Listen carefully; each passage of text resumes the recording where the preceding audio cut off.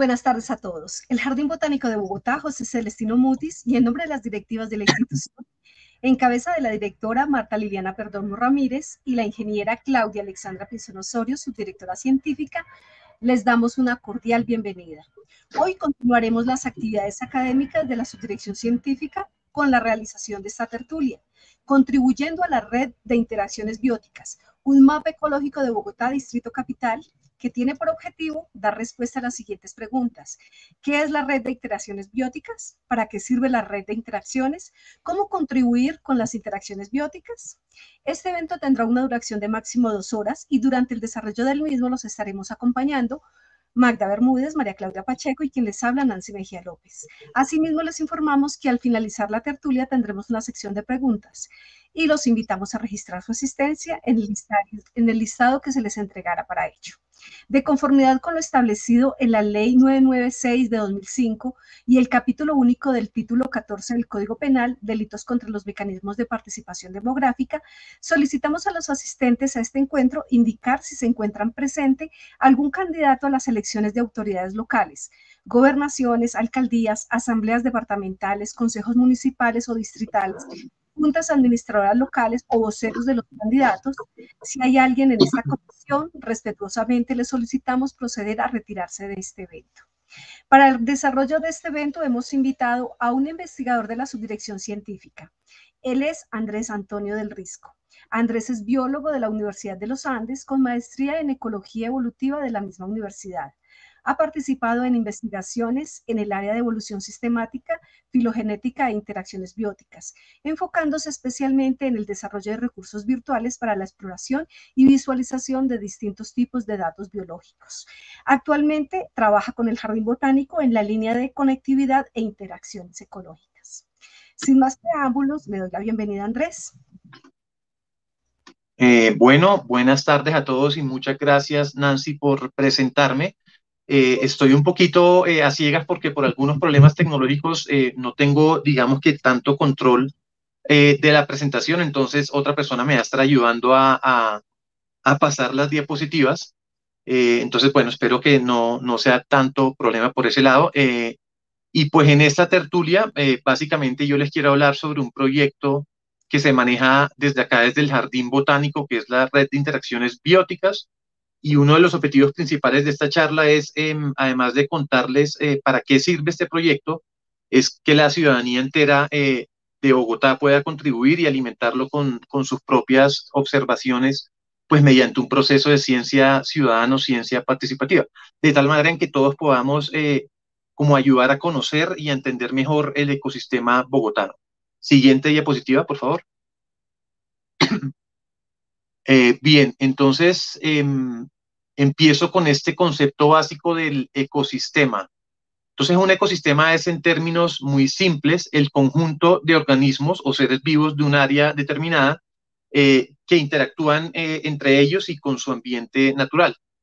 Em, entonces, un ecosistema prácticamente podríamos dividirlo en dos componentes principales. Uno son los factores abióticos, que incluye, digamos, todos los elementos y fenómenos del área que no, que no son organismos vivos.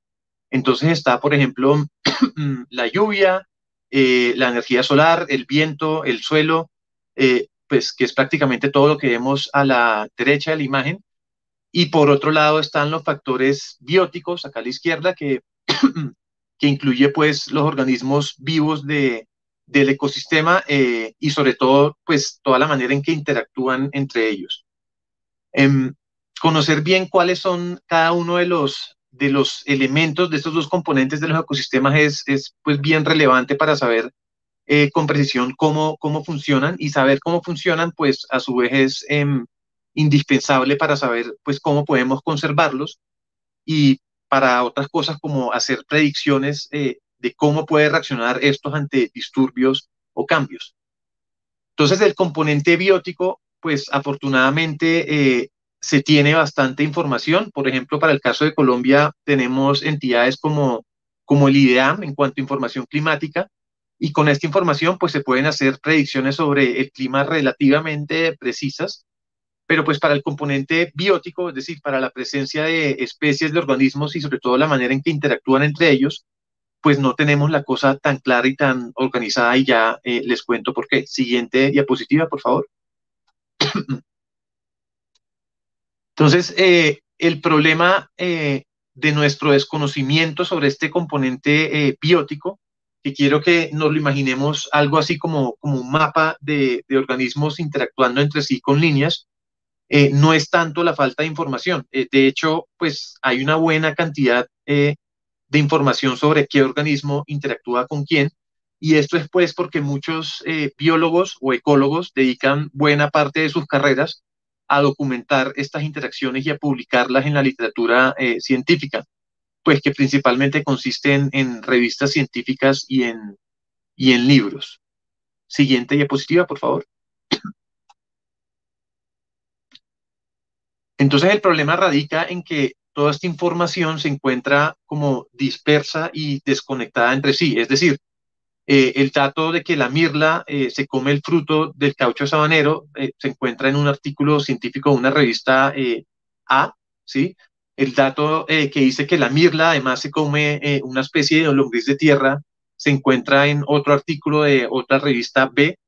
Y el otro dato que dice que el halcón peregrino o algún gavilán caza a la mirla se encuentra en otro artículo C y así sucesivamente. Entonces esto em, pues conlleva que realmente este mapa hipotético del componente vivo del ecosistema esté más bien como, como a modo de rompecabezas y pues hasta que este no esté eh, armado, pues no vamos a poder entender bien cómo funciona el ecosistema de una manera más bien em, integral. Siguiente diapositiva, por favor. Entonces, con base en este problema que les acabo de mencionar, eh, por allá en el 2017, con, junto con unos eh, colegas del Jardín Botánico de Bogotá, nos planteamos el objetivo de empezar a armar todo este mapa del componente vivo del ecosistema para, para Bogotá. Y ahí es que surge entonces formalmente la propuesta del proyecto eh, de la red de interacciones bióticas de Bogotá. Em, entonces, para esto lo que hicimos primero fue reunir toda esta información dispersa, es decir, em, buscar las piezas sueltas del rompecabezas del mapa.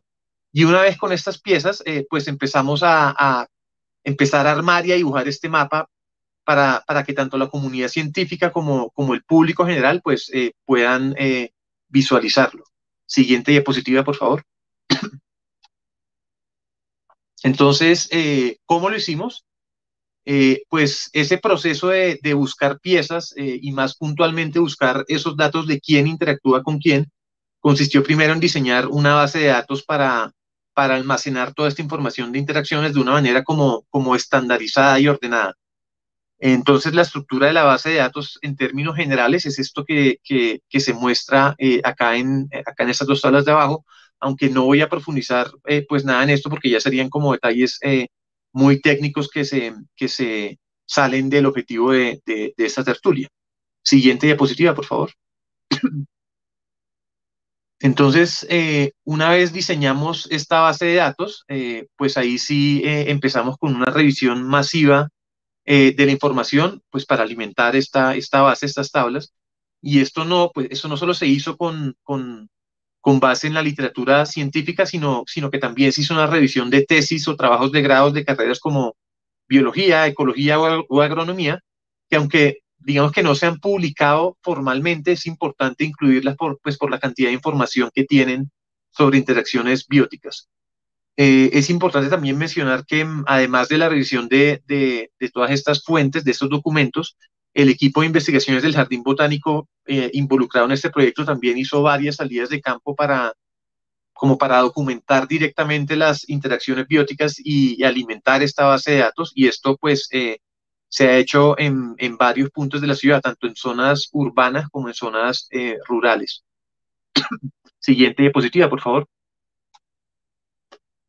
El, siguiente paso, entonces, eh, luego de engordar eh, esta base de datos lo suficiente, fue poder dibujar eh, este mapa para que el público, digamos que pudiera explorarlo y, visualizarlo.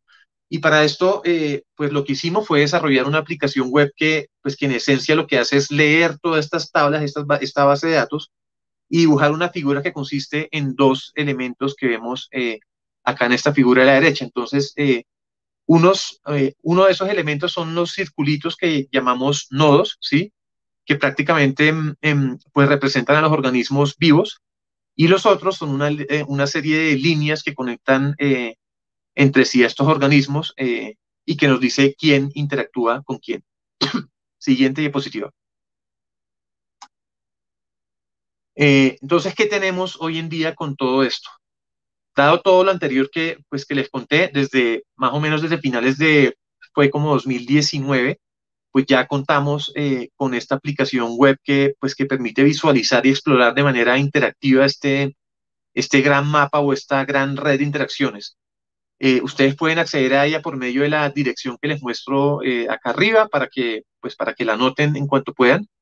Eh, aclaro que por ahora solo pueden acceder desde computadores eh, y esto es porque esta aplicación web aún no está optimizada para, para celulares o para tabletas, pero pues digamos que eso es algo en lo que estamos trabajando para que eventualmente en un futuro se pueda consultar em, esta información desde ahí. Entonces lo que se puede ver acá en esta, como en esta vista general es una gran nube de puntos y líneas. Y si ustedes ven el panel de información acá de la, de la izquierda, se van a dar cuenta que el color de los puntos nos dice qué tipo de organismo es cada nodo. Es decir, si es un animal, eh, si es una planta, si es un hongo, eh, etc. Em, y también el color de la línea nos indica en términos, más, en términos bien generales qué tipo de interacción hay entre un nodo y otro.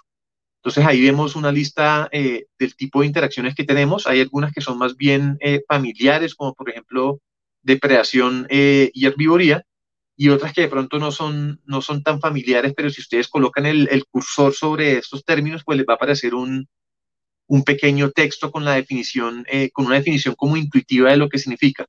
Tenemos también una función de búsqueda que nos permite eh, encontrar organismos específicos tanto por nombre común o por nombre científico, de tal manera en que si ustedes quieren encontrar puntualmente con quienes interactúa, por ejemplo, un, em, un copetón o, una mirla, pues pueden fácilmente encontrarlos con esa función. Em, entonces, como, como les comenté antes, este mapa no es un dibujo estático. Eh, esta aplicación web está diseñada para que, para que toda esta red se explore de manera eh, interactiva y pues la principal manera en que esto se explora es por medio de, del zoom o de acercamientos y alejamientos, digamos que de una manera muy similar a lo que hace Google Maps o Google Earth, eh, mm, eh, y, esto se puede hacer eh, con los botones debajo, como en la parte mm, inferior de la pantalla donde están las lupitas, o también se puede hacer como con la, con la rueda del, del, mouse. Siguiente, por favor. esto que les muestro acá entonces es una sección de toda, de toda esta red sobre la cual se hizo ya algo de zoom. Entonces acá estamos viendo con un poco más de detalle los, los nodos o los organismos, en este caso eh, del centro, eh, deberíamos ver acá un, un pinchaflor, una diglosa. Eh, y una vez uno haya hecho zoom, ya es posible desplazarse también hacia los lados o hacia arriba y hacia abajo, arrastrando la, la pantalla con el mouse. Pero además de estos gestos básicos como de exploración y de movimiento, también hay más opciones de interactividad. Siguiente, por favor. Em, lo que les muestro acá es la posibilidad de interactuar entonces con, con los nodos, es decir, con los, con los círculos que nos representan los, los organismos. En este caso, al hacer clic sobre, sobre esta eh, diglosa albilátera, este pinche flor, se nos abre entonces una ventana eh, a la derecha, a la derecha arriba, que tiene eh, mucha, pues, mucha más información detallada sobre el organismo y sobre las interacciones que presenta. Entonces ahora, además de interactuar con los nodos, también podemos interactuar con las líneas que, como ya saben, representan las interacciones. Eh, esto podemos hacerlo de dos maneras. La primera es haciendo doble clic eh, directamente sobre las líneas que vemos en el dibujo. O la segunda, es, que es un poco más fácil, es haciendo clic sobre el hipervínculo que, pues, que vemos dentro de los paréntesis en esta misma ventanita de la derecha. Entonces, para mostrarles un ejemplo, vamos a hacer esto con la segunda interacción en la lista de este pinche flor, que es con la planta bejaria resinosa. Entonces, hacemos clic sobre esto, que dice consume el néctar, y eh, siguiente diapositiva, por favor. y esto nos va a abrir una ventana nueva de información asociada a esa interacción puntual. Entonces, esta ventanita nos muestra cosas básicas como puntualmente quién interactúa con quién. Entonces, fíjense que acá, en este caso, em, vemos eh, el nombre común de ambos organismos. Ahora ya sabemos que Bejaria resinosa es una planta que le dicen mosquero. Y más abajo lo que aparece es la fuente que reporta esta interacción. Es decir, la fuente a la que nosotros accedimos para saber que el pinchaflor flanquiblanco consume el néctar del, del mosquero. Em, esto es para que sepan que todas las interacciones están debidamente citadas y soportadas por las fuentes de donde obtuvimos eh, esta información. Eh, y en este caso vemos claramente pues, que se trata de un, de un, de un artículo científico. Eh, sin embargo, algo, algo muy importante que hay que mencionar es que además de artículos científicos o, documentos, hay otro tipo de fuente que puede soportar estos registros de interacciones. Siguiente, por favor. Y uno muy importante es eh, el material multimedia. Y con material multimedia me refiero principalmente a fotografías eh, o videos. Y para esto les muestro este otro ejemplo de, interacción que, pues, que en este caso es un turpial amarillo que consume el néctar de una planta que se conoce comúnmente como chocho, es una eritrina rudrinervia. Y, abajo vemos eh, las dos fuentes multimedia que evidencian la existencia de esta interacción. Ahora, eh, en el caso de estas fuentes multimedia, ustedes pueden incluso eh, pues ver la fotografía de la interacción dando clic sobre el hipervínculo azul. En este caso, eh, le voy a mostrar lo que contiene el hipervínculo de más abajo, siguiente diapositiva. y entonces aquí lo que deberían estar viendo es la fotografía de la interacción en donde vemos a un turpial insertando el pico sobre la flor de la, de la eritrina. Esta foto en particular fue, fue tomada por una colega de mi línea de investigación, eh, Ángela Montoya. Siguiente diapositiva. Entonces ya eh, habiéndoles mostrado la, manera como, como general en que funciona esta aplicación web, quiero comentarles qué es lo que tenemos en cuanto a cifras en estos momentos. Entonces, todo este mapa eh, o esta red, toda esta nube de puntos y líneas consiste hasta hoy, octubre del 2023, eh, en más de 6.760 interacciones y en más de, de, 2.400 eh, taxones o, digamos, eh, este proceso de, colección de información, valga la, la, aclaración, es algo que todavía estamos haciendo constantemente y estas cifras pues se inflan y se mm, actualizan cada vez que subimos información nueva al final de, de cada mes. Siguiente diapositiva. Eh, en cuanto a composición de organismos, la mayoría de especies que tenemos representadas pues son, son plantas, seguido por, por animales, pero pues también tenemos representación de, de hongos, eh, de bacterias y, y, de todo el resto de organismos que, que no encajan dentro de estos eh, grandes grupos anteriormente mencionados que, pues, que se les llama coloquialmente mm, protistas. Y todo esto para que se den cuenta que tenemos representación de todos los grandes grupos del árbol de la vida. Siguiente diapositiva. Mm, también quiero mostrarles que tenemos eh, bastantes tipos de interacciones distintas y a continuación voy a mostrarles rápidamente em, algunas de estas categorías eh, representadas en, como en algunos registros fotográficos, fotográficos que tenemos eh, en la red. Siguiente diapositiva, por favor. Entonces, primero tenemos la herbivoría, que de hecho es el tipo de interacción más común que tenemos hasta ahora en la, en la base de datos. Y con ese término de herbivoría, eh, en este caso no solo abarcamos el consumo de, hojas o de partes verdes de las plantas, como el caso de este, em, de este em, eh, gorgojo picudo eh, de acá, sino que también abarca el consumo de otras partes como, como los frutos, lo que llamamos frugivoría, como es el caso acá de la mirla a la derecha comiéndose los frutos de un, de un oreopanax, de un mano, mano de oso. Siguiente diapositiva, por favor. Tenemos también la visita floral, que eh, en últimas puede considerarse como un tipo de herbivoría también. Y esto pues incluye todo lo que sea consumo de recursos florales como, como el néctar o, el polen y pues consecuentemente incluye también eh, la polinización. Siguiente diapositiva. Em, incluimos también interacciones de oviposición eh, o anidamiento, que es cuando un organismo usa a otro como sustrato como, o como soporte para poner sus huevos. Entonces acá a la izquierda eh, son los huevos de una mariquita eh, asiática puestos sobre una hoja y a la derecha em, el nido de un colibrí sobre las ramas de, de, una especie de planta que, pues, que ahorita se me escapa. Siguiente diapositiva. Incluimos también interacciones de epibiosis. Eh, esto es cuando un organismo em, se adhiere permanentemente a otro usándolo como, como soporte para crecer sin hacerle ningún eh, tipo de daño. Eh, y pues en este caso, en esta categoría, encontramos a las plantas epífitas, como, como el caso de los helechos sobre la palma de la foto de la izquierda, o casos como, como líquenes epífitos sobre la corteza de un árbol en la foto de la derecha. Siguiente, por favor. Está también la depredación, creo que todos saben muy bien eh, en qué consiste esto.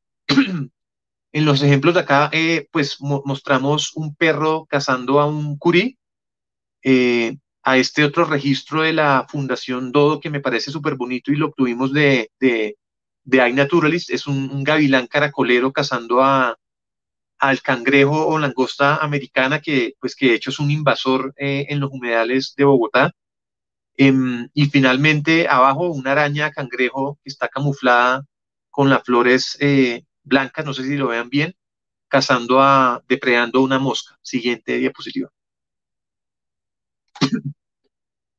Entonces, finalmente tenemos eh, otras categorías importantes, pero en menor eh, representación, como el parasitismo, que es cuando, cuando un organismo está, digamos que está adherido a otro semipermanentemente o permanentemente robándole recursos y, pues afectándolo negativamente, que es como la diferencia con, con la epibiosis que vimos ahorita.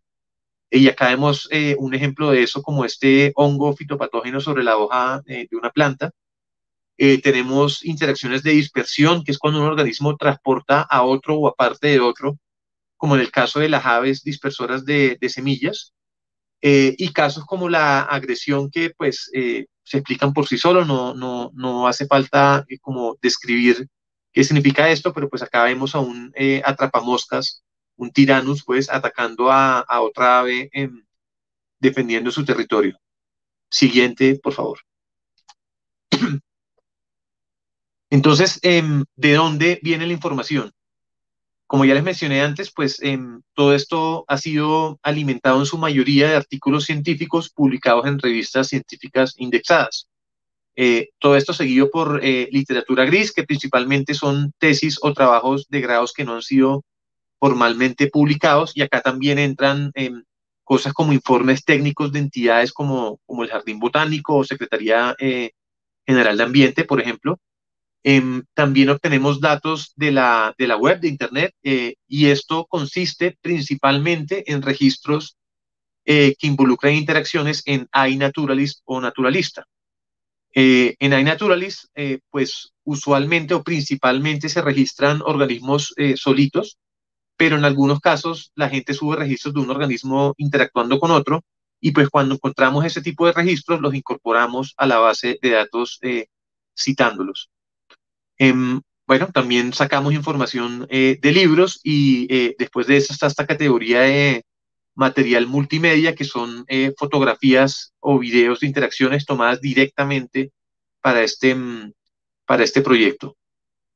Y finalmente están las colecciones biológicas, que son en esencia los herbarios y los museos de historia natural, que a veces en sus especímenes o ejemplares colectados pues llevan información en sus etiquetas sobre interacciones bióticas documentadas en el momento de su, de su colecta. Siguiente diapositiva, por favor. Entonces, ¿cómo se distribuyen o dónde se han documentado todas estas interacciones? Esto eh, que les muestro acá es un mapa de Bogotá, en, donde, en donde se responde esta pregunta, se muestra eh, en dónde en el espacio pues han sido documentados todos estos registros a lo largo del área de Bogotá DC. Eh, entre más rojas sean, digamos que sean estos puntos estas áreas, estas manchas, quiere decir que más interacciones se han documentado y entre más azules eh, es que menos registros se han documentado. Y fíjense que la gran mayoría de datos están más bien hacia el norte del mapa y pues el norte corresponde a la zona urbana del distrito y ya hacia el sur, es toda la localidad de Sumapaz, eh, es zona rural y es donde menos registros eh, se han documentado y pues donde más necesidad hay de, ir a hacer eh, muestreos para también conocer todo este componente del ecosistema conservado ¿no? o rural. Siguiente diapositiva. Bien, pero ya con todo esto y habiéndoles mostrado estas cifras, vale la pena preguntarse cuántas interacciones y cuántas especies faltan em, por incluir en este mapa vivo del ecosistema de, Bogotá DC. Y pues la respuesta eh, no la tenemos muy clara, es prácticamente imposible saber cuántas interacciones están eh, realmente ocurriendo en la zona eh, de Bogotá, pero podemos, em, digamos que sospechar em, con mucha certeza que estas más de 6.000 que tenemos es apenas una fracción muy pequeña del total de cosas que realmente están pasando allá afuera en el ecosistema. Entonces, este mapa que ustedes vieron eh, ahorita realmente sería algo así como una pequeña punta de, del iceberg. Siguiente, por favor. Eh, eso entonces en términos de número de interacciones. Pero entonces otra pregunta sería, qué tan cerca estamos en cuanto a número de especies. Eh, yo les dije que en la red teníamos información para un poco más de 2.400 especies, pero pues qué tanto es eso respecto al total de especies de organismos vivos que, existen en, Bogotá. Eh, y nuevamente eso es una respuesta que es difícil de, eso es una pregunta que es difícil de, responder, porque para, pues para muchos grupos de organismos, como, por ejemplo la mayoría de, grupos de animales, para bacterias, para hongos, pues no tenemos listas formales para saber cuántas especies hay de, Bogotá. Para el único grupo en que sí hay un poco más de certeza en cuanto al número de especies eh, es para las plantas, especialmente para plantas vasculares. Y pues sabemos que hay eh, algo más de 2.900 especies de plantas vasculares eh, en Bogotá. Y todo esto viene del proyecto Flora de Bogotá, que de hecho también es una iniciativa propia del jardín botánico. Em, y en de ideas, entonces, eh, en la red de interacciones tenemos incluidas más o menos a un 41% de todas estas especies de plantas eh, vasculares. Pero para otros organismos que no, para los cuales no hay listas formales para Bogotá, creemos que la representación en porcentaje em, es muchísimo más bajita, seguramente menor al 10%, y eso siendo bastante em, optimistas. Siguiente, por favor. Bien, y la conclusión de todo esto es que nos falta mucho eh, y necesitamos ayuda. Necesitamos ayuda para que eh, terminemos de conocer esta parte sumergida del iceberg o para que sigamos armando eh, un mapa del ecosistema de Bogotá más completo. Y es acá en donde queremos invitar a la ciudadanía a que por procesos de ciencia ciudadana pues puedan contribuir y alimentar esta, esta base de datos. Siguiente. Ahora sí quiero ir más al grano y mostrarles puntualmente cómo pueden aportar ustedes como ciudadanos. Y para eso les muestro nuevamente esta gráfica en donde eh, mostraba los tipos de fuente que soportan cada registro. Eh, uno de esos tipos de fuente era material multimedia, es decir, fotografías eh, y videos.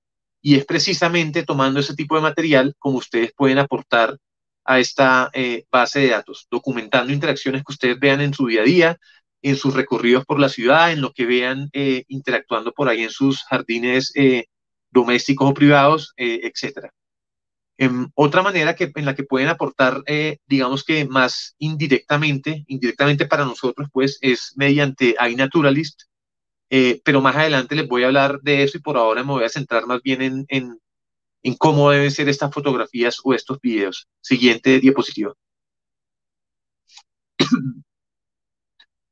Eh, quiero acá resaltar entonces qué consideramos nosotros una interacción válida o qué tipo de contenido debe mostrar eh, la fotografía o el video. Y básicamente lo que consideramos válido son todo el tipo de interacciones que yo ya les mostré en las diapositivas anteriores con ejemplos fotográficos. Entonces resumo otra vez rápidamente. Interacciones de consumo como depredación o herbivoría, interacciones de, eh, epibiosis, que son todas estas plantas epífitas o, o líquenes epífitos, eh, parasitismo, oviposición o aniamiento, visitas florales eh, o agresiones, entre otros. Siguiente, por favor. Pero tal vez algo que me parece, digamos que un poco más práctico, es más bien mostrarles qué tipo de fotografías no representan interacciones que nosotros consideramos válidas o ecológicamente significativas para incluir en nuestra, en nuestra base de datos. Y pues es lo que se resume muy bien en estas tres eh, fotografías. Y estos tres, estas tres cosas lo que muestran es eh, prácticamente lo mismo. Un organismo posándose temporalmente sobre otro. Em, entonces en la primera imagen a la izquierda vemos un copetón simplemente perchado sobre una, sobre una planta, pero pues no se puede observar eh, que haya consumo, que haya anidamiento ni nada por el estilo. Eh, lo mismo para la mosca que vemos posada sobre, sobre la hoja y pues finalmente este saltamontes que si bien lo vemos muy claramente sobre la hoja y sabemos que, pues, que es un herbívoro, no vemos que haya contacto como entre sus partes vocales y, los tejidos de la planta. Entonces, para aclarar nuevamente, este tipo de, fotografías no las estamos considerando como interacciones que puedan entrar eventualmente eh, a la base de datos del proyecto. Siguiente, por favor. Em, algo importante que quiero resaltar de todo esto es que para, aportar información ustedes no tienen que ser em, pues expertos eh, identificando organismos.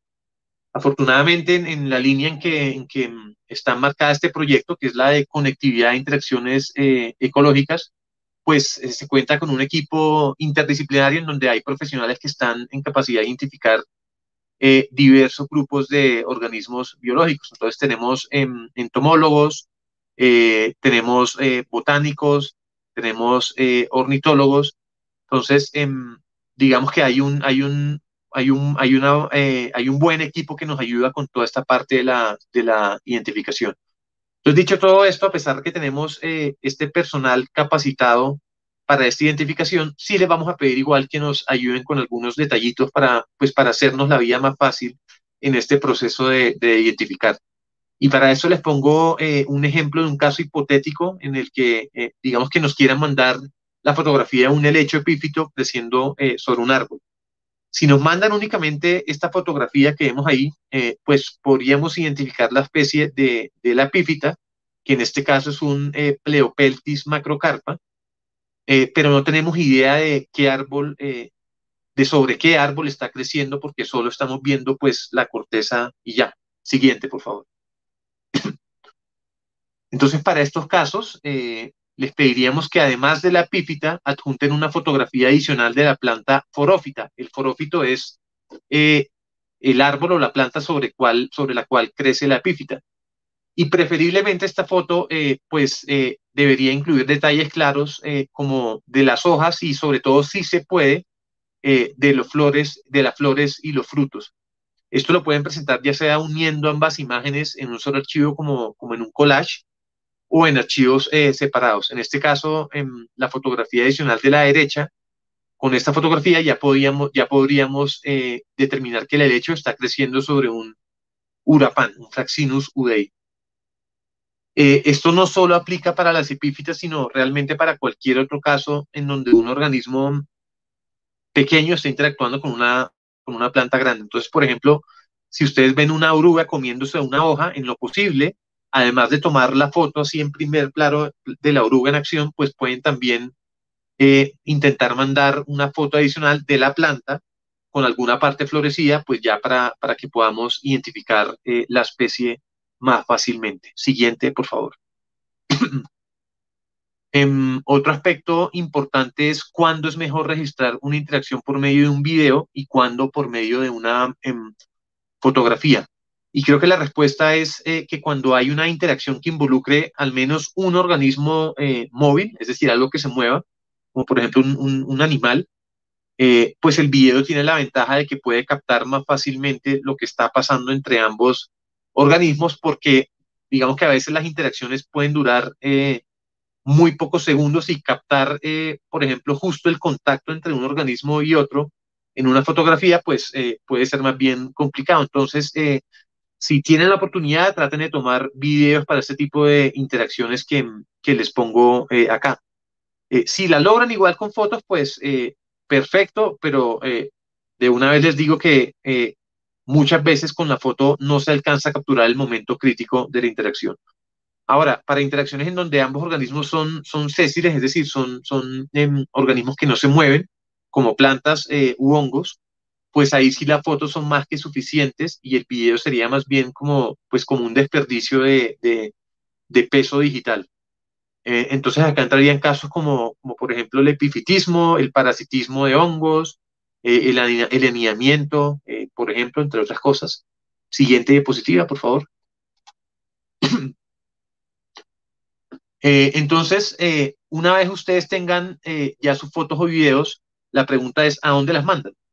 Para eso entonces nosotros tenemos un correo de Outlook, que es el que les pongo arriba, para que lo anoten en cuanto pueden, y la idea es que a ese correo ustedes manden el archivo o el video de sus fotografías, pues junto con unos daticos adicionales que les pediríamos. Y de esos datos, el primero es eh, el autor, ¿sí? El, nombre y el apellido de la persona que toma eh, la foto o el video. Y fíjense, esto es importantísimo porque la idea es que todos los que, todos los que manden registros eh, queden debidamente citados. Pero pues para citarlos necesitamos sus nombres.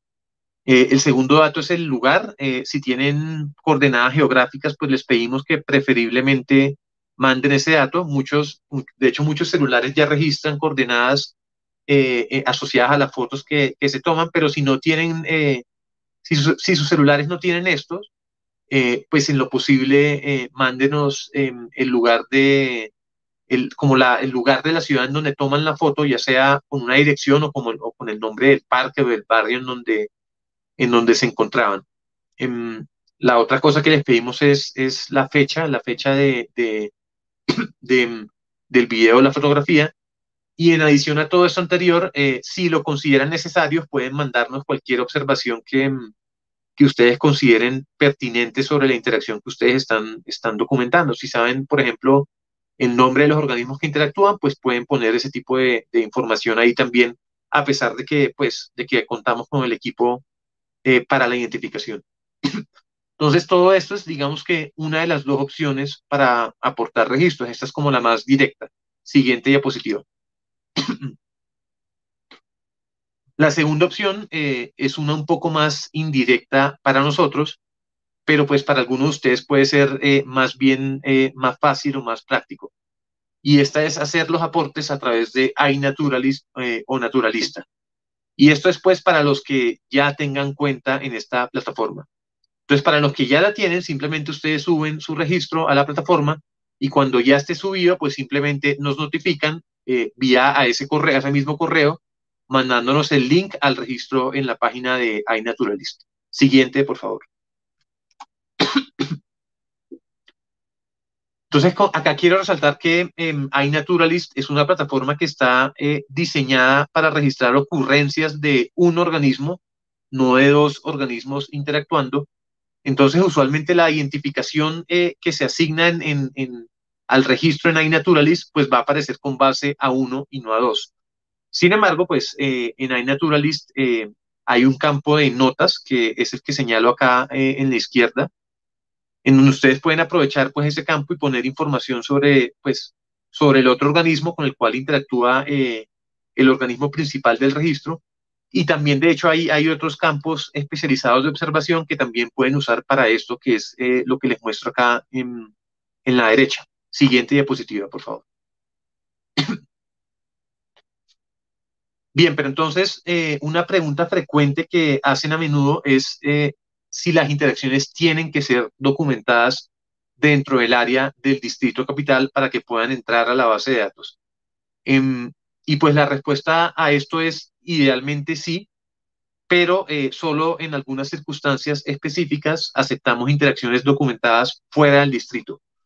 En esas circunstancias o esas condiciones es que ambos organismos que ustedes estén documentando en la interacción tengan ocurrencia o, existan también eh, en Bogotá. Entonces, por ejemplo, si, si digamos yo estoy en, en, Tunja y veo una mirla comiéndose el fruto de un caucho sabanero, le tomo la foto, eh, la envío al correo de la red de interacciones y pues eh, sabemos que en el área de Bogotá hay mirlas, ¿no? Hay Turdus fuscater, existen acá, las vemos todo el tiempo y también sabemos que hay cauchos sabaneros, ¿no? Son parte de nuestro arbolado urbano. Les estoy poniendo un, caso eh, súper fácil, súper claro. Entonces, por lo tanto, sabemos que esa interacción eh, potencialmente puede ocurrir en el distrito, a pesar de que no la vimos directamente dentro del área del distrito. Entonces, para esos casos específicos, eh, ese registro puede entrar, lo aceptamos, pero queda marcado como interacción eh, potencial, ¿sí? Y en la aplicación web, pues esas interacciones quedan indicadas de, de esta manera como se les muestra acá en las ventanitas informativas. Entonces las informaciones que sí son documentadas en Bogotá, que son la mayoría, se marcan en la aplicación web como interacción confirmada en Bogotá, como sale eh, en esta ventanita del, ejemplo. Siguiente, por favor. Em, bien, entonces teniendo ya todo esto en cuenta y luego de haberles mostrado cómo, cómo pueden aportar, quiero hablar rápidamente para qué sirve tener eh, todo esto, para qué toda esta información y todo este mapa del componente vivo del, ecosistema. Eh, y respondiendo a esta pregunta, pues pongo los tres tipos de grupos de, personas que pueden beneficiarse de, esta información. Eh, y pues el primer grupo son los ciudadanos particulares.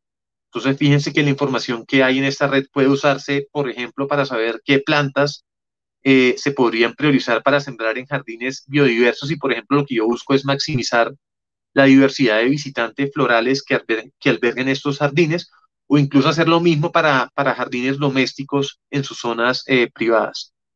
En, em, el segundo grupo son los tomadores de decisiones, en donde pueden usar esta información como base para, por ejemplo, priorizar las especies de, del arbolado urbano de, de, acuerdo a qué tanto potencial tiene cada especie de árbol eh, como soporte para, por ejemplo, nidos o, que tantas plagas eh, lo ataquen. Eh, y finalmente está la comunidad, comunidad, científica y académica que puede, em, que puede usar eh, los datos de esta red como, como insumos para hacer investigaciones em, ecológicas. Y pues como yo soy parte de este último grupo, me voy a tener unos minutos, unos minutos más en esto para mostrarles algunas cositas que ya hemos hecho con base en esto. Siguiente, por favor.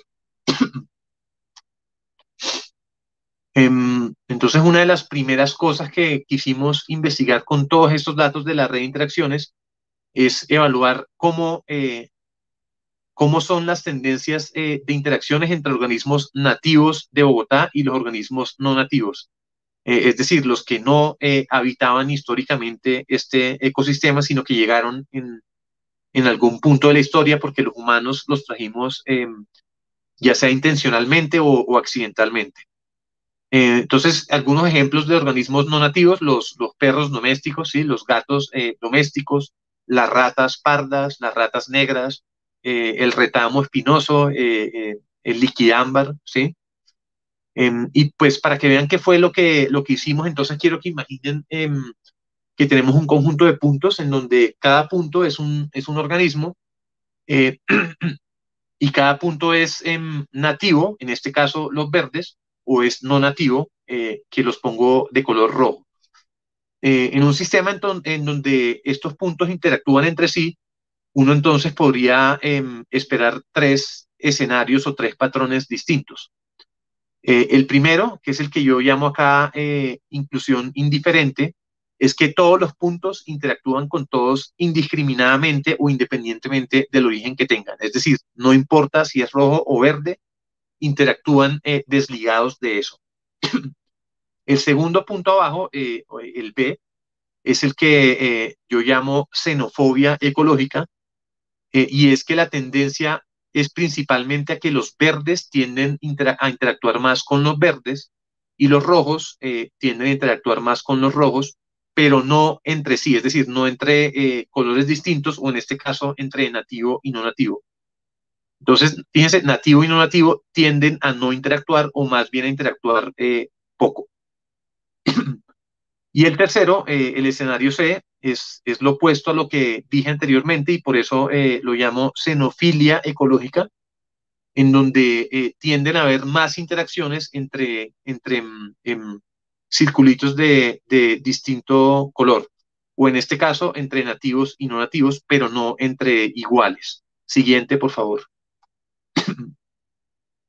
Entonces, ¿qué fue lo que hicimos?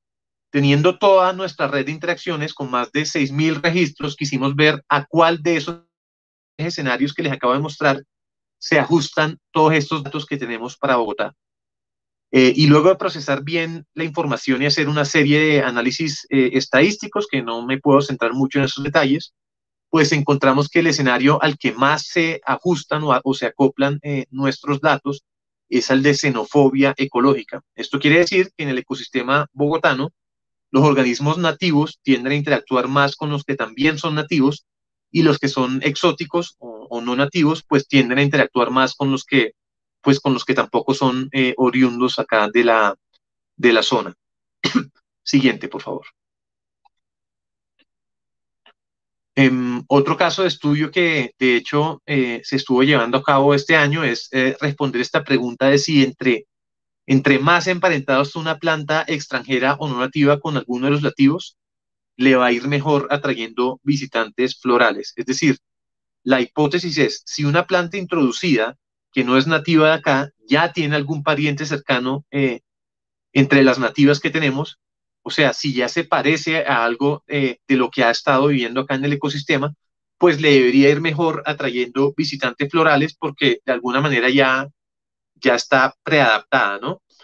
Eh, y usando información que tenemos sobre visitantes florales en la red de interacciones y también usando em, secuencias de ADN de las plantas eh, de acá de Bogotá para reconstruir esto que llamamos filogenia, en donde eh, pues lo que estamos mirando es los grados de parentesco entre las, entre las plantas, pues pusimos a prueba em, esta hipótesis. Siguiente, por favor. y lo que encontramos, eh, pues, es que no se cumple ese patrón y no tiene nada que ver una cosa con la otra, que fue algo que, digamos, em, no nos esperábamos. Esto me tocó resumirlo demasiado y no hay muchos detalles, de pronto no se entendió muy bien, pero si alguien está pues más interesado en este tema, el martes de la otra semana voy a, voy a dar una charla dedicada exclusivamente a esta investigación en particular durante eh, la semana de investigación de la subdirección científica del Jardín Botánico. Siguiente, por favor. Eh, entonces, además de estos usos investigativos que, que he estado realizando desde mi afiliación con la subdirección científica eh, en el Jardín Botánico, quiero mencionar también rápidamente estos otros dos casos en donde uno de ellos es un trabajo de grado de un estudiante de, biología de la Javeriana que usó los datos de la red de interacciones para evaluar las diferencias de tres especies de aves eh, que son como ecológicamente bien distintas presentes en el distrito de Bogotá, diferencias en cuanto a, patrones de interacciones.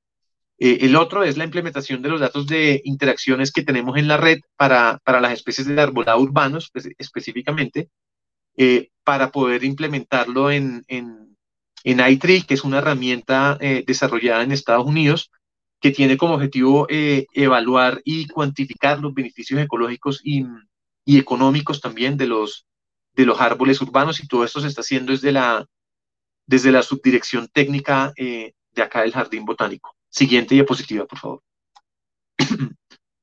Bien, eh, y ya para terminar, eh, nuevamente quiero resaltar que a pesar de toda la utilidad que tiene este recurso, que es la red de interacciones bióticas, necesitamos seguir expandiendo nuestro conocimiento, necesitamos seguir completando este mapa del componente vivo del ecosistema bogotano y pues esto claramente es una tarea que no vamos a poder eh, completar nosotros solos, sino con la ayuda de toda la eh, ciudadanía. Eh, siguiente, por favor. Ya para terminar, quiero hacer una mención especial a algunas personas o algunos perfiles fuera del Jardín Botánico de Bogotá que han contribuido bastante con registros de interacciones eh, entre ellos, a través de registros de iNaturalist, mencionó a, a Simón Serna Wills, eh, a Juan Carlos Caicedo, del grupo de comunitario que se mueve principalmente por, por Chico y el Virrey, a Mateo Hernández, que creo que muchas personas lo, lo conocen, eh, y a la Fundación Dodo, que toma registros realmente impresionantes, muy bonitos. y por fuera de, de iNaturalist, em, que han contribuido ya a registros eh, más directamente. Están los del territorio ecológico eh, Santa Bárbara y Molinos, especialmente el señor Osvaldo Pinzón y Jaime eh, Ramírez, eh, de la red de cuidadores del Parkway, eh, Consuelo Sánchez, y de los contribuidores eh, independientes, pues se destaca Diego Chacón. Bien, muchas gracias. Em, eso era todo y bienvenidas las, las preguntas si las hay. Bueno, vamos con un comentario que hace Sergio Vargas. Muy buena charla. las interacciones bióticas son un muy buen indicador para tener en cuenta en muchos proyectos de restauración ambiental. Em, Así es. Aprovecho para recordarles a todos llenar la asistencia, pues ahí se les enviarán las, mm, las memorias de este evento. Hay muchas, eh, te envían muchos saludos de muchas partes. Floare Bell, de la Fundación Artística Recreo Deportiva Nuevo Amanecer Farna. Em, Alejandro Durán Alarcón envía saludos. Ludi Marisa Gómez también vía saludis. Goyis María pregunta, ¿incluyen interacciones con el ser humano? Eso, eso es una excelente pregunta que me, las me la han hecho antes. Eh, sí, incluimos algunas, eh, pero por ejemplo, las interacciones que son como de uso económico de las especies, como por ejemplo, digamos todas las matas que nosotros, todos los organismos vegetales, pues que nosotros eh, incluimos en nuestra dieta y sembramos, ese tipo de, interacciones, por, decir, por así decirlo, no las estamos incluyendo porque eso encaja más como, digamos que más en la etnobiología y para eso, para, para el uso que se le dan a las plantas, ya hay otro proyecto en el Jardín Botánico eh, que está, digamos que destinado em, para ese fin y es em, la plataforma de nombres comunes eh, de las plantas de Bogotá. Entonces, para ese caso en donde hay un uso em, deliberado de, de, otras especies, eh, digamos que está este otro proyecto pero para otras interacciones como por ejemplo eh, que el zancudo consume la sangre del, del, Homo sapiens, del ser humano, sí tenemos ese tipo de, de, interacciones en nuestra base de datos. Consuelo Sánchez dice, me hace muy feliz, feliz ver los registros que hemos tomado en el Parway. Así es, sí, muchas gracias a Consuelo por sus aportes eh, tan importantes para nuestra base de datos. he visto muchas fotos muy bonitas de ella en nuestro conjunto de información. Dice Goyes María, ¿puedo enviar fotos de plantas en mi jardín con plagas o hongos?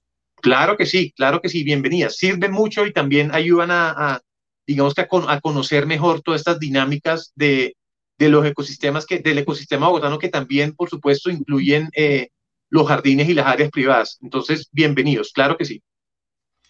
Dice Consuelo Sánchez, gracias a Ángela Montoya hemos aprendido qué son las relaciones bióticas y cómo registrarlas.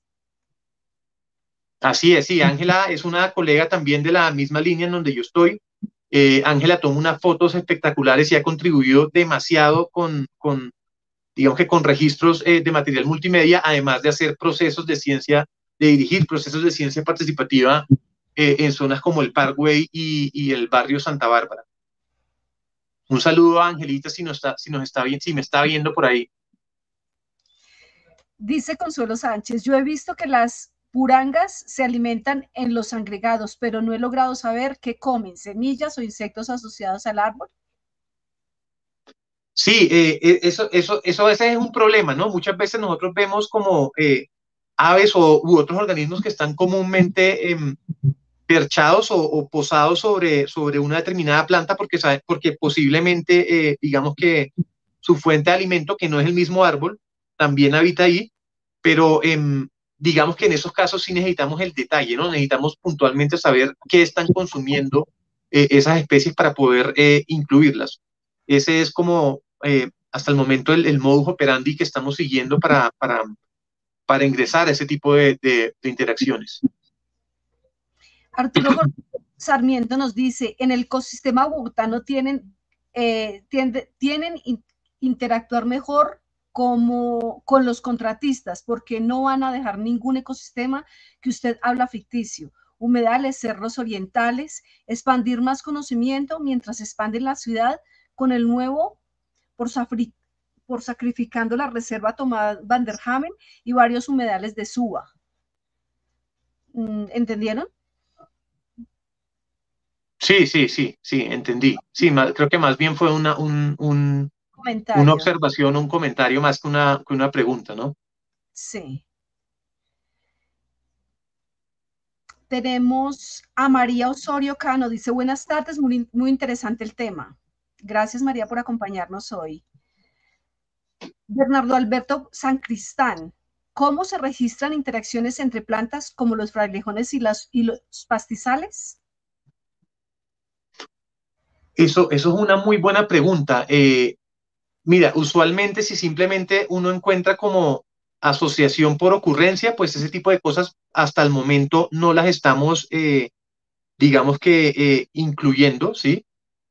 Con ocurrencia quiero decir que simplemente están, usualmente se encuentran ahí cerca, pero si hay alguna evidencia de que hay, por ejemplo, em, interacciones de alelopatía, alelopatía, explico, es cuando em, un organismo, en este caso plantas, em, emiten emiten sustancias químicas volátiles o ya sea disueltas eh, en agua, y estas, em, estas sustancias afectan negativamente o positivamente el crecimiento de, otras plantas u otros organismos. Las alelopatías sí las incluimos, ¿sí? El problema es que para uno saber que hay alelopatía, tiene que eh, hacer una serie de, digamos que, experimentos, ¿sí?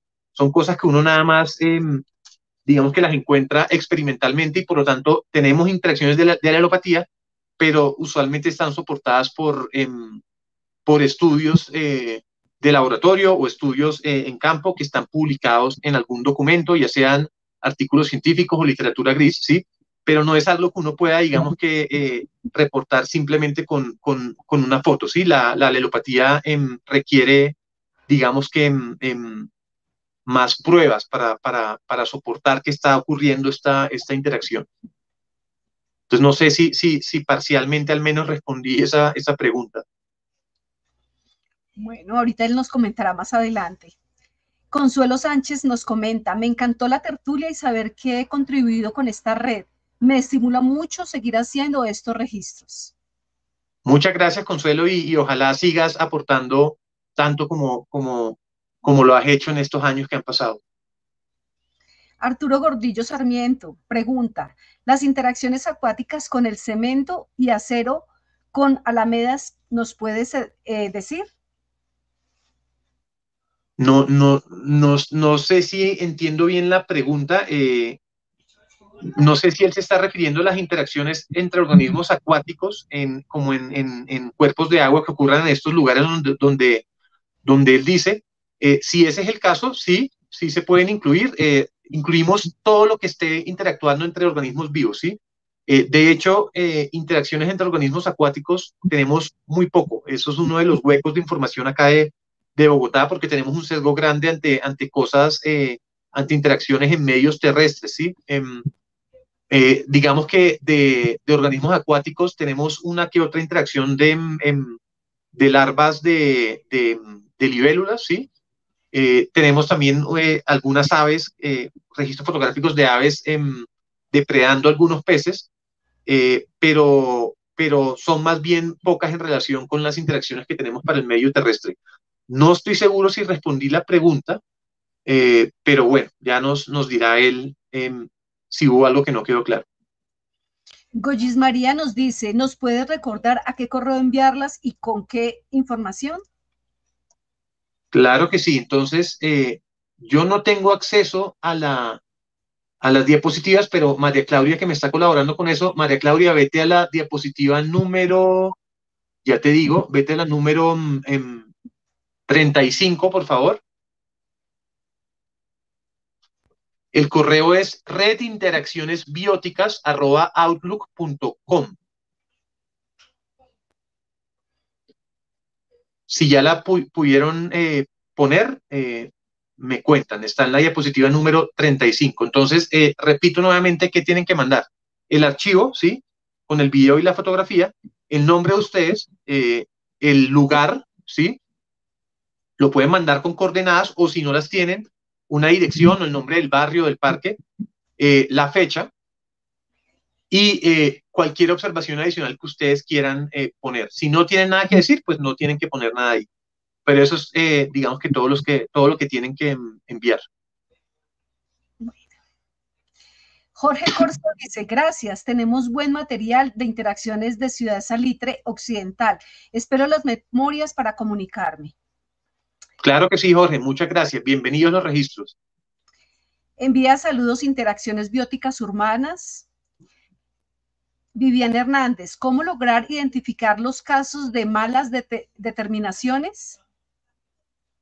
Eh, sí, eso, eso, eso, digamos que eso es un problema del, cual no estamos eh, exentos. Eso pasa hasta en las, hasta en las, em, hasta en las colecciones biológicas como herbarios o museos de historia natural. Eh, pasan esas cosas de, de, malas identificaciones. pongo el caso extremo que son, digamos que los casos más rigurosos de, en donde identifican organismos, que son estas colecciones biológicas. Pasa ahí, pasa en iNaturalist, eh, puede pasar también acá. De hecho, hemos tenido registros que inicialmente pensábamos que era eh, un organismo X eh, y en algún punto viene otra persona y lo mira, ve la fotografía o ve la colección que está asociada a ese registro y dice como, no, esto no es esto, esto es otra cosa, y le cambiamos eh, la identificación. Entonces, esto, digamos que esto es algo que no está escrito en piedra, esto es algo que es dinámico y se va, eh, digamos que se va, se va puliendo y se va mejorando idealmente con el tiempo, ¿no? Entonces, no, no es, digamos que una base de datos estática, sino es algo que, que, eh, que va cambiando a medida que llega más información o llegan nuevos profesionales que nos ayuden con esta parte de la, de la investigación. Hay muchos registros que de hecho nosotros tenemos que no están eh, identificados a especie, ¿sí? Precisamente para evitar este tipo de, de, problemas cuando uno no está seguro qué es lo que está viendo en la interacción. Entonces, si por ejemplo yo veo una, una, una libélula, ¿sí? Que está comiéndose una, una mosca doméstica, eh, pero yo no tengo ni idea esa libélula qué es. Libélula es un término que abarca todo un orden que se llama odonata, las libélulas o caballitos del diablo, ¿sí? Puede tener no sé cuántas especies, seguro más de más, pues miles, eh, pero si yo no tengo idea cuál es, yo, yo puedo poner eh, simplemente eso como eh, odonata, ¿sí? que es el, como el nombre em, global de todo ese gran grupo de las, de las libélulas.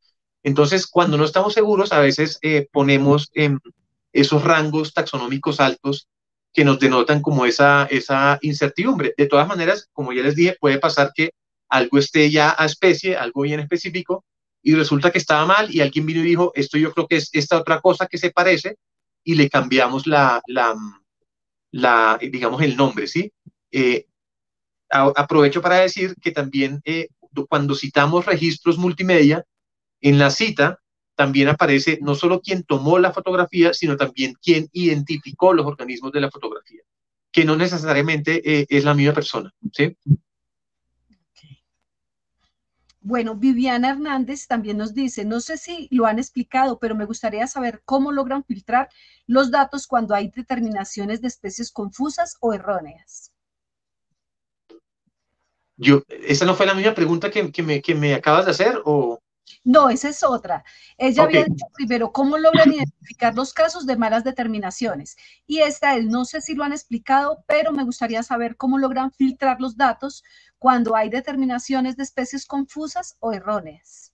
Ok, ok, sí. Eh, nosotros en nuestra base, en la, digamos que en la versión que tenemos de la base de datos, tenemos, digamos, una tabla en donde están todas nuestras, nuestros taxones, nuestras especies, ¿sí?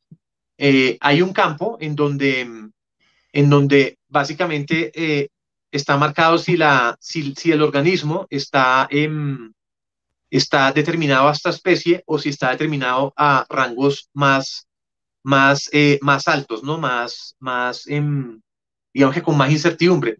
Uno, usando ese campo, puede hacer ese filtro, puede saber como listo, que, que de todo lo que hay acá, que de todas las especies, los taxones, no está a una especie y está como incierto, ¿sí? Entonces, eh, eso es una buena manera de, para nosotros, pues, de, hacer esos, esos filtros y esa selección de lo que todavía no sabemos muy bien qué es.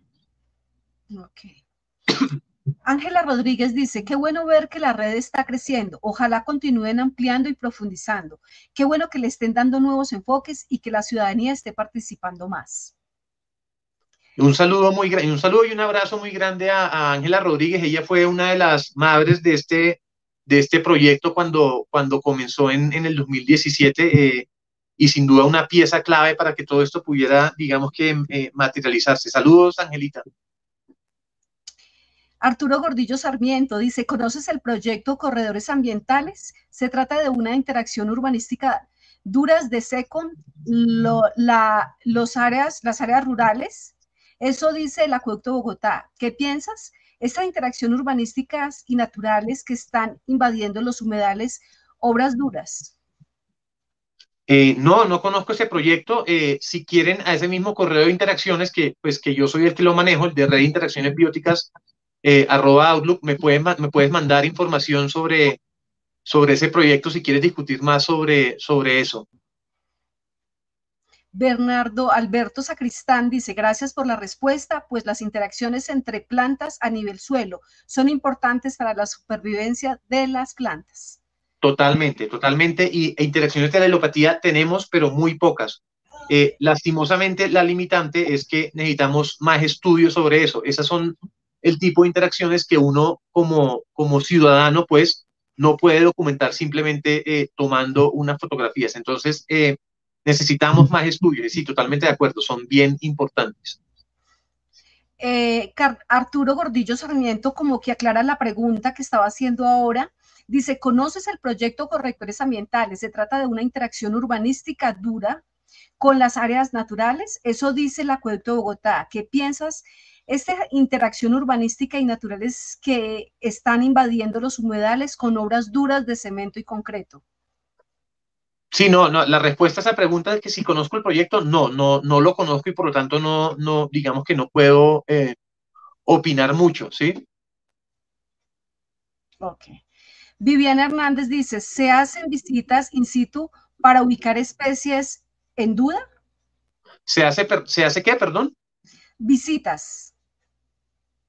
Visitas in situ para identificar especies en duda. Eh, eso eh, supongo que lo hacen algunos profesionales de la línea en donde, en donde eh, está marcada este proyecto, que es la línea de conectividad e, e interacciones ecológicas. Eh, y hay muchos, digamos que hay muchos investigadores que, digamos que tienen, em, tienen ya sus, sus, áreas de investigación bien definidas. ellos les toca hacer varias visitas y claramente, pues, eh, ese, mm, eh, esa tarea que tú mencionas es algo que ellos tienen que hacer para, para confirmar eso. Ahora, si, si hablas puntualmente de alguna interacción que alguien, que alguien mande y que tengamos alguna duda sobre su identificación y, si, es, si esa interacción, no sé, es una planta, es lo que no se va a mover, claro que un investigador del equipo podría, em, podría hacer esa tarea de ir como a, a, verificar eh, o incluso a colectar, em, a colectar el ejemplar para, para, poder hacer, digamos que una identificación un poco más eh, certera. Eh, creo que ahí está como la importancia de colectar, ¿no? Y fíjense que en una de las, una de las uno de los tipos de fuentes que soportan estas interacciones son las colecciones biológicas. La ventaja de una colección biológica, ¿sí? Eh, es que uno lleva un ejemplar, lo mete en una, en, un, en, una colección biológica, sea un herbario, un museo de historia natural, y ya con el ejemplar en físico, eh, digamos que los, los especialistas pueden hacer una revisión un poco más rigurosa de qué es lo que estamos eh, viendo, de qué es lo que se tiene, ¿sí? Y, y, por ende, de qué fue lo que participó en la interacción. Esto, eh, digamos que es un recurso mucho más em, riguroso, ¿sí? Que tener una fotografía.